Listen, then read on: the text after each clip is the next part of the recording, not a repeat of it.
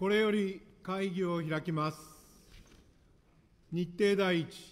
常任委員長の選挙。これより欠員中の環境委員長の選挙を行います。つきましては、本選挙はその手続きを省略し、議長において指名することにご異議ございませんか？ご異議ないと認めます。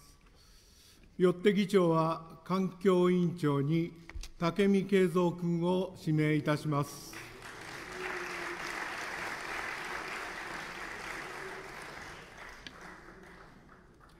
日程第2、国務大臣の演説に関する件、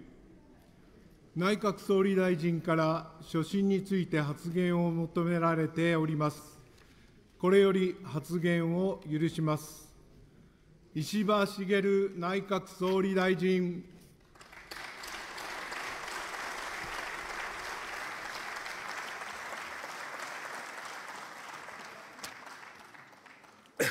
この度、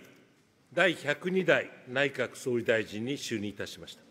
すべての人に安心と安全を、私は日本国内閣総理大臣として、全身全霊を捧げ、日本と日本の未来を守り抜いてまいります。この決意を申し上げるにあたり、まずは政治資金問題などをめぐり、国民の政治不信を招いた事態について、深い反省とともに触れねばなりません。政治資金問題に際し、岸田総理は、自由民主党内の派閥解消や、政治資金規正法改正などに取り組まれた後に、所属議員が起こした事態について、組織の長として責任を取るために退任されました。これらはすべて政治改革を前に進めるとの思いを持って決断されたものでした。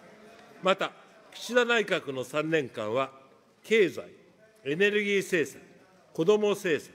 安全保障政策、そして外交政策など、幅広い分野において、具体的な成果が形になった3年でありました。岸田総理のご尽力に心より敬意を表します。その思いや実績をもとに、私は政治資金問題などにより失った国民の皆様方からの信頼を取り戻し、そしてすべての人に安心と安全をもたらす社会を実現してまいります。千年単位で見ても類を見ない人口減少、生成 AI 等の登場による急激なデジタルの進化、約30年ぶりの物価上昇、我が国は大きな時代の変化に直面しています。この変化に対し、政治は十分に責任を果たしてきたでしょうか。政治資金問題で失われた政治への信頼を取り戻すとともに、これまで以上に我が国が置かれている状況を国民の皆様方に説明し、納得と共感をいただきながら、安全・安心で豊かな日本を再構築する。それが政治の責任です。そのために私は、ルールを守る、日本を守る、国民を守る、地方を守る、若者、女性の機会を守る、これらの5本の柱で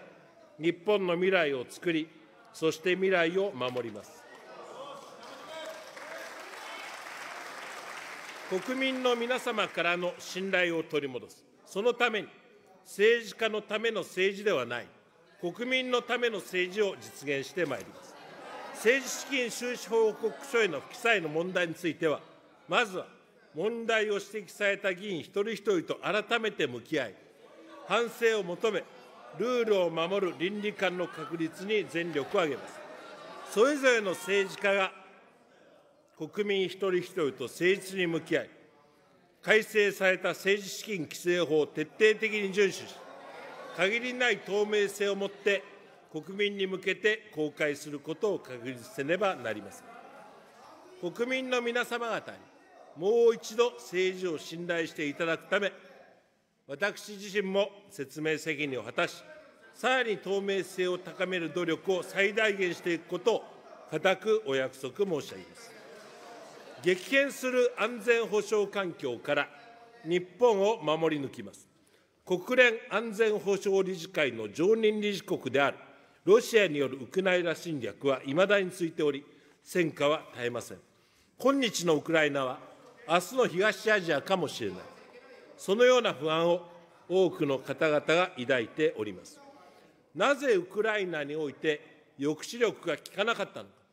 私は強い思いを持っております。中東情勢なども相まって、国際社会は分断と対立が進んでいます。そうした現状を踏まえ、私は、現実的な国益を踏まえた外交により、日米同盟を基軸に、友好国、同志国を増やし、外交力と防衛力の両輪をバランスよく強化し、我が国の平和、地域の安定を実現します。その際、自由で開かれたインド太平洋というビジョンのもと、法の支配に基づく国際秩序を堅持し、地域の安全と安定を一層確保するための取り組みを主導してまいります。日米同盟は、日本外交安全保障の基軸であり、インド太平洋地域と国際社会の平和と繁栄の基盤です。まずはこの同盟の抑止力、対処力を一層強化します。加えて、同志国との連携強化に取り組んでまいります。先日は早速バイデン米国大統領に加え、韓国、豪州、G7 各国の首脳と電話会談を行いました。現下の戦略環境のもと、日韓が緊密に連携していくことは、双方の利益にとって極めて重要です。日韓間には難しい問題もありますが、来年に国交正常化60周年を迎えることも見据え、岸田総理がユン大統領との間で築かれた信頼関係を礎に、日韓両国の協力をさらに堅固で幅広いものとしていきます。また、日米韓で一層緊密に連携していきます。中国に対しては、戦略的互恵関係を包括的に推進し、あらゆるレベルでの意思疎通を重ねてまいります。一方、中国は、東シナ海や南シナ海における力による一方的な現状変更の試みを日々強化しております。先月には、幼い日本人の子どもが暴漢に襲われ、尊い命を失うという痛ましい事件が起きました。これは断じて看過しがたいことであります。我が国として主張すべきは主張し、責任ある行動を強く求めつつ、諸懸案を含め対話を行い、共通の諸課題については協力する、建設的かつ安定的な関係を日中双方の努力で構築していきます。日中間の枠組みを前進させます。拉致被害者やそのご家族が高齢となる中で、時間的制約のある拉致問題は、ひとときも揺るがせにできない人道問題、国家主権の侵害であり、政権の最重要課題です。日朝平壌宣言から20年余り、残された拉致被害者たちのご帰国が実現していないことは痛恨の極みです。日朝平壌宣言の原点に立ち返り、すべての拉致被害者の一日も早いご帰国を実現するとともに、北朝鮮との諸問題を解決するため、私自身の強い決意のもとで、総力を挙げて取り組んでまいります。対ロ制裁、対ウクライナ支援は今後とも強力に推し進めます。日露関係は厳しい状況にありますが、我が国としては、領土問題を解決し、平和条約を締結するとの方針を堅持いたします。ASEAN との連携強化に引き続き取り組みます。グローバルサウスとの関係強化や軍縮不拡散、気候変動など地球環境、地球規模課題への取り組みを進めてまいります。また、在外邦人の安全確保に全力を尽くしてまいります。我が国は戦後最も厳しく複雑な安全保障環境に直面しております。中国及びロシアによる一連の領空侵犯も発生しました。これは我が国の主権の重大な侵害であります。北朝鮮は核・ミサイル開発を継続し、近年かつてない頻度で弾道ミサイルの発射を繰り返しておるほか、米国を射程に収める長射程ミサイルの開発も追求しております。これは国連安保理決議違反であり、我が国のみならず、地域、国際社会の平和と安全を脅かすものです。このような中、国家安全保障戦略等に基づき、我が国自身の防衛力を抜本的に強化すべきことは論を待ちません。防衛力の最大の基盤は自衛官です。いかに装備品を整備しようとも、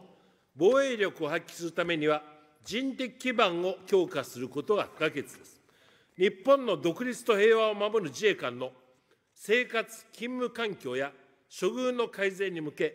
総理大臣を長とする関係閣僚会議を設置し、その在り方を早急に検討し、成案を売るものといたします。先の大戦中、沖縄では国内最大の地上戦が行われ、多くの県民が犠牲になられたこと、戦後27年間、米国の死生下に置かれたことなどを私は決して忘れません。基地負担の軽減にも引き続き取り組みます。在日米軍の円滑な駐留のためには、地元を含む国民のご理解とご協力を得ることが不可欠です。普天間飛行場の一日も早い全面変化を目指し、辺野古への移設工事を進めます。また、いまだ全国最下位である1人当たりの県民所得や子どもの貧困の問題などの課題も存在します。沖縄振興の経済効果は十分に域内に波及しているのだろうか、そしてそれが本当に実感していただけているのだろうか、沖縄の皆様の思いに向き合い、沖縄経済を強化すべく支援を継続いたします。少子化とその結果生ずる人口減少は、国の根幹に関わる課題、いわば静かな有事です。今の子育て世代が幸せでなければ、少子化の克服はありません。子育て世帯の意見に十分に耳を傾け、今の子育て世帯に続く若者が増えるよう、子育て支援に全力を挙げます。子ども未来戦略を着実に実施するとともに、社会の意識改革を含め、短時間勤務の活用や、生活時間、睡眠時間を確保する勤務間インターバル制度の導入促進など、働き方改革を強力に推し進めます。さらに、少子化の原因を分析し、子育て世代に寄り添った適切な対策を実施します。少子化をめぐる状況は、地域によって異なります。婚姻率が低い県は、人口減少率も高いことは、厳然たる事実。若年世代の人口移動を見ると、この10年間で、全国33の道県で、男性より女性の方が多く転出する状況となっております。若者、女性に選ばれる地方、多様性のある地域分散型社会を作っていかなければなりません。それぞれの地域において、地方創生と表裏一体のものとして、若者に選ばれる地域社会の構築に向け、全力で取り組んでまいります。日本経済のデフレ脱却を確かなものとし、日本経済の未来を作り、日本経済を守り抜きます。その中で、デフレ脱却を最優先に実現するため、経済あっての財政との考え方に立った経済財政運営を行い、賃上げと投資が牽引する成長型経済を実現しつつ、財政状況の改善を進め、力強く発展する危機に強靭な経済財政を作ってまいります。イノベーションを促進すること等による高付加価値創出や生産性の向上、意欲ある高齢者が活躍できる社会を実現し、我が国 GDP の5割超を占める個人消費を回復させ、消費と投資を最大化する成長型経済を実現します。このため、コストカット型経済から高付加価値創出型経済へ移行しながら、持続可能なエネルギー政策を確立し、イノベーションとスタートアップ支援を強化してまいります。また、経済安全保障の観点から、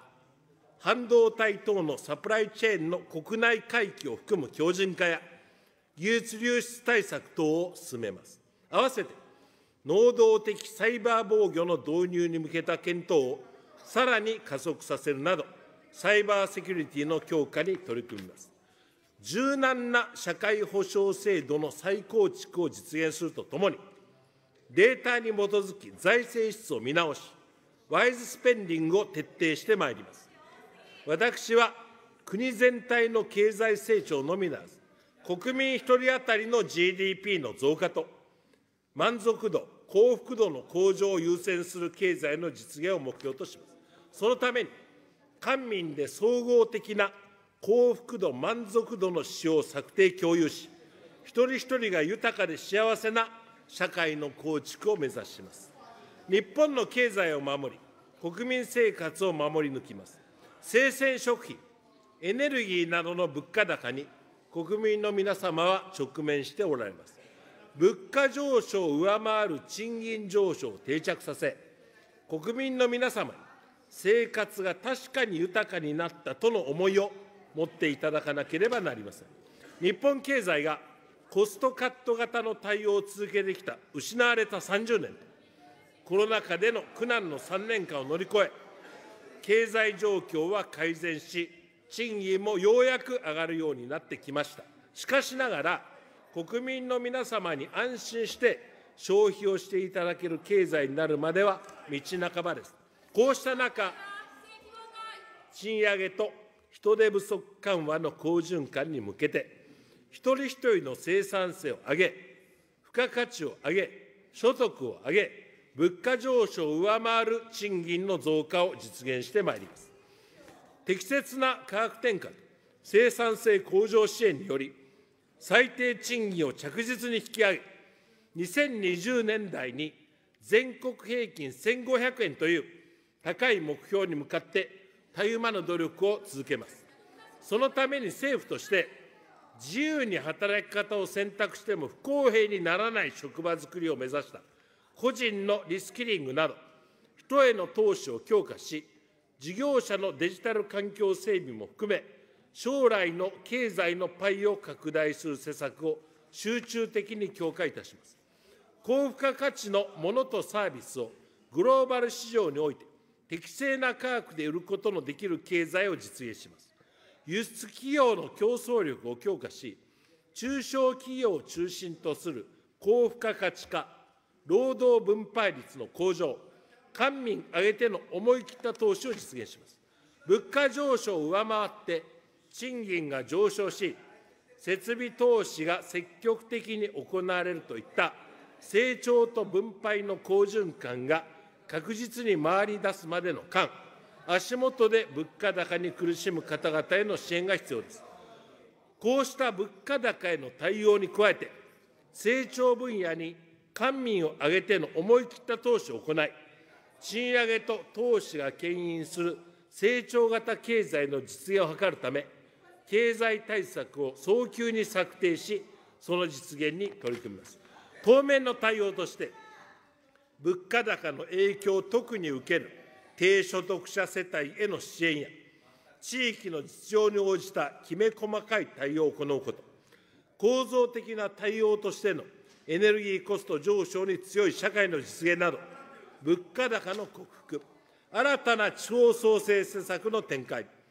中堅、中堅、中小企業の賃上げ環境整備、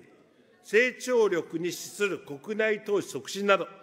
日本経済、地方経済の成長、能登半島をはじめとする自然災害からの復旧・復興、防災・減災、国土強靭化の推進、外交安全保障環境の変化への対応、誰も取り残さない社会の実現など、国民の安心・安全の確保を柱とします。エネルギーの安定的な供給と安全の確保は喫緊の課題です。AI 時代の電力需要の激増も踏まえつつ、脱炭素化を進めながら、エネルギー自給率を抜本的に高めるため、省エネルギーを徹底し、安全を大前提とした原子力発電の利活用、国内資源の探査と実用化と合わせ、我が国が高い潜在力を持つ地熱など再生可能エネルギーの最適なエネルギーミックスを実現し、日本経済をエネルギー制約から守り抜きます。このため、GX の取り組みを加速させ、アジア諸国の多様な取り組みを日本の技術力や金融力で支援し、同時にアジアの成長力を我が国に取り込んでいきます。日本経済の活性化と成長を加速させるため、科学技術・イノベーション、宇宙などフロンティアの開拓を推進するとともに、スタートアップ支援策を引き続き強化していきます。政府のスタートアップ育成5か年計画を着実に進め、アジア最大のスタートアップハブを実現します。AI の研究開発、実装がしやすい環境をさらに充実し、政府の AI 政策の司令塔機能を強化します。経済活動の基盤である金融資本市場の変革にも取り組みます。貯蓄から投資への流れを着実なものとし、国民の資産形成を後押しする資産運用立国の政策を引き継ぐとともに、産業に思い切った投資が行われる投資大国に向けた施策を講じます。社会保障制度は、さまざまな境遇にある国民の方々に安心を提供するセーフティーネットです。将来不安を取り除き、皆が安心して充実して暮らせる、こうした日本を実現することによって、未来を守り、次の時代に負担を先送りしない、それが今を生きる我々の責任であります。医療、年金、子育て、介護など、社会保障全般を見直し、国民の皆様に安心していただける社会保障制度を確立します。その際、今の時代に合った社会保障へと転換し、多様な人生の在り方、多様な人生の選択肢を実現できる柔軟な制度設計を行います。人口減少時代を踏まえ、意欲のある高齢者、女性、障害者などの就労を促進し、誰もが年齢にかかわらず、能力や個性を最大限活かせる社会を目指します。子ども、女性、高齢者をはじめ、すべての方々が安心して暮らせるよう、犯罪対策を推進し、世界一安全な日本を実現します。度重なる災害から国民の生命、身体と財産を守り抜きます。コロナ禍の最中は、ふるさとに戻ることすらできませんでした。やっと里帰りができるようになり、皆が待ちわびていた家族の団らんが、能登半島では今年の元日、地震により一瞬にして奪われました。亡くなられた方々に哀悼の誠を捧げるとともに、被災されている方々に心よりお見舞いを申し上げます。その後さらに、能登半島地震の被災地を豪雨が襲い、河川の氾濫や土砂災害が相次ぎ、多くの尊い人命が失われました。度重なる被災の前の活気ある能登を取り戻すため、復旧と創造的復興に向けた取り組みを一層加速してまいります。全世界有数の災害発生国であるこの日本において、近年のさらなる風水具合の頻発化、激甚化に早急に対処できる人命最優先の防災立国を構築しなければなりません。防災・減災、国土強靭化の取り組みを推進します。事前防災の徹底に向けて、まず現在の内閣防災担当の機能を予算、人員の両面において抜本的に強化するとともに、平時から不断に万全の備えを行うため、専任の大臣を置く防災庁の設置に向けた準備を進めてまいります。日本では、ひとたび災害が起こると、被災者の方々は避難所で厳しい生活を強いられます。平成28年に起きた熊本地震では、直接亡くなられた方々の4倍もの方々が、避難生活の中で健康を崩されるなどして、災害関連死として亡くなられています。被災して大きな悲しみや不安を抱えている方々に手を差し伸べ、温かい食事、安心できる居住環境を提供することが必要です。災害関連死ゼロを実現すべく、避難所の満たすべき基準を定めたスフィア基準も踏まえつ、避難所の在り方を見直し、災害後速やかにトイレ、キッチンカー、ベッド、フロー配備しうる平時からの官民連携体制を構築します。福島の復興なくして東北の復興なし、東北の復興なくして日本の再生はありません。避難者の生活や産業なりわいの再建に全力で取り組んでまいります。一部の国、地域による日本産水産物の輸入停止に対し、岸田政権での取り組みを生かし、あらゆる機会を捉えて即時撤廃を強く求めるとともに、影響を受ける水産物の国内需要の拡大や、新たな輸出先の開拓など、我が国水産業のさらなる発展のために、政府として責任を持って支援を行ってまいります。地方創生の原点に立ち返り、地方を守り抜きます。10年前に私は、初代地方創生担当大臣を拝命し、文化庁の京都移転、それまでの補助金とは一線を画する地方創生推進交付金の創設はじめ、一生懸命取り組んでまいりました。以来、交付金などを活用し、住民の方々が気持ちを一つにして、地方創生の取り組みに頑張っておられる姿を、全国各地にたくさん見てまいりました。そしてその姿に勇気づけられてまいりました。竹下総理はかつて、地域が自主性と責任を持って、各々の知恵と情熱を生かし、小さな村も大きな町もこぞって、地域づくりを自ら考え、自ら実践していくと述べられました。産官学金老元すなわち産業界、行政機関、大学だけではなく、中学校、高等学校も含めた教育機関、金融機関、労働者の皆様、報道機関の皆さん、こうした地域の多様なステークホルダーが知恵を出し合い、地域の可能性を最大限に引き出し、都市に住む人も、地方に住む人も、すべての人に安心と安全を保障し、希望と幸せを実感する社会、それが地方創生の精神です。今一度、地方に雇用と所得、そして都市に安心と安全を生み出します。地方こそ成長の主役です。地方創生をめぐるこれまでの成果と反省を生かし、地方創生2.0として再起動させます。全国各地の取り組みを一層強力に支援するため、地方創生の交付金を投資予算ベースで倍増することを目指します。少子高齢化や人口減少に対応するため、デジタル田園都市国家構想実現会議を発展させ、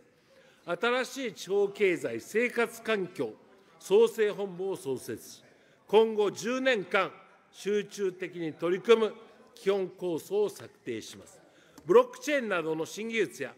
インバウンドの大きな流れなどの効果的な活用も視野に入れ、国民の生活を守りながら、地方創生を実現してまいります。地方の成長の根幹である農林水産業は、農産漁村の雇用と所得を生み出すとともに、国家の安全保障の一環でもあることから、その持てる力を最大限引き出してまいります。新たな基本法のもと、最初の5年間に、計画的かつ集中した施策を講ずることにより、食料安全保障の確保、環境と調和の取れた食料システムの確立、農林水産業の持続的な発展、中山間地域をはじめとする農産漁村の振興を図ります。国内の生産基盤の維持の観点も踏まえ、農林水産物の輸出をより一層促進します。持続可能な食品産業への転換を促進し、循環型林業など強い林業づくりや海洋環境の変化を踏まえた創業形態や養殖業への転換、海業の全国展開など、漁業、水産業の活性化に取り組みます。観光産業の高付加価値化を推進するとともに、文化芸術立国に向けた地域の文化、芸術への支援強化にも取り組みます。地域交通は地方創生の基盤です。全国で交通空白の解消に向け、移動の足の確保を強力に進めます。地方創生に終わりはありません。地域づくりは人づくり、人材育成こそすべてです。私が先頭に立って、国、地方、国民が一丸となって、地方創生に永続的に取り組む機運を高めてまいります。2025年大阪・関西万博は、世界と交流を深め、日本の魅力を世界に向けて発信する絶好の機会です。多くの方に来場いただき、楽しみ、そしてそれぞれの将来に夢と希望を持ってもらう、またとない機会です。成功に向け、関係者と心を合わせ取り組んでまいります。若者、女性、それぞれの方々の幸せ、そして人権が守られる社会にしていかなければなりません。人づくりこそ国づくり。この考え方のもと、デジタル技術の活用を前提に、自ら考え、自由に人生を設計することができる能力の育成を目指します。あらゆる人が最適な教育を受けられる社会を実現します。教職員の処遇見直しを通じた公教育の再生に全力を挙げます。強靭で持続性のある稼げる日本の再構築のためには、教育やリスキリングなどの人的資源への最大限の投資が不可欠です。人生のあらゆる局面で何度でも必要な学びが得られる体制を整備します。意思決定の在り方を劇的に変えていくため、社会のあらゆる組織の意思決定に女性が参画することを官民の目標とし、達成への指針を定め、計画的に取り組みます。男女間の賃金格差の是正は、引き続き喫緊の課題です。多くの女性に社会活動を長く続けてもらえるにはどうすればよいか、国民的議論を主導して制度改革を実現します。コロナ禍で増加した女性の自殺者数が高止まりし、子ども・若者の自殺者数が増加傾向にあることを踏まえ、自殺総合対策を強力に進めます。憲法改正について、私が総理に在任している間に発議を実現していただくべく、今後、憲法審査会において、与野党の枠を超え、建設的な議論を行い、国民的な議論を積極的に深めていただくことを期待します。日本にとって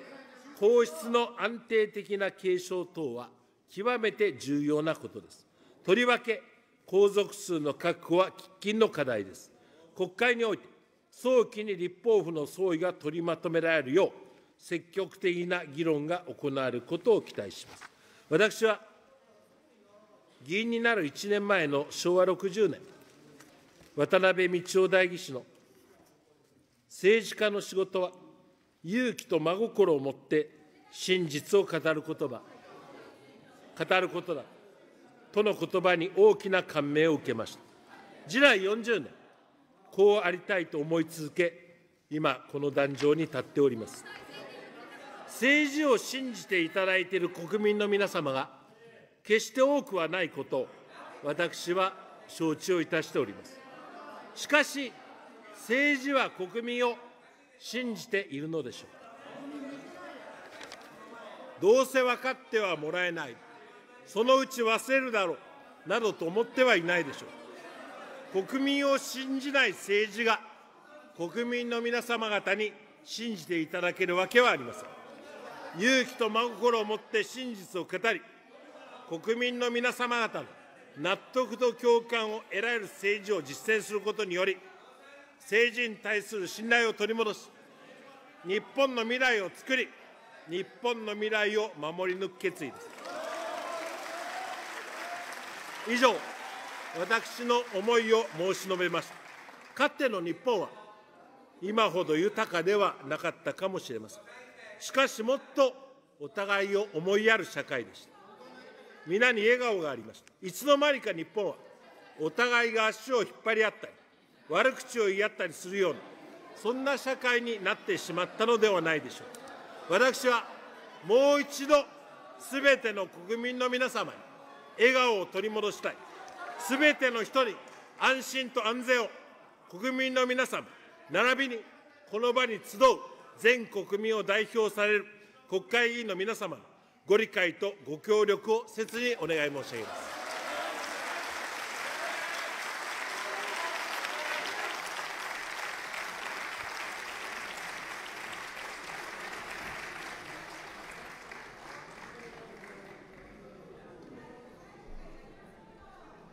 ただいまの演説に対する質疑は次回に譲りたいと存じますが、ご異議ございませんか？ご異議ないと認めます。本日はこれにて参加いたします。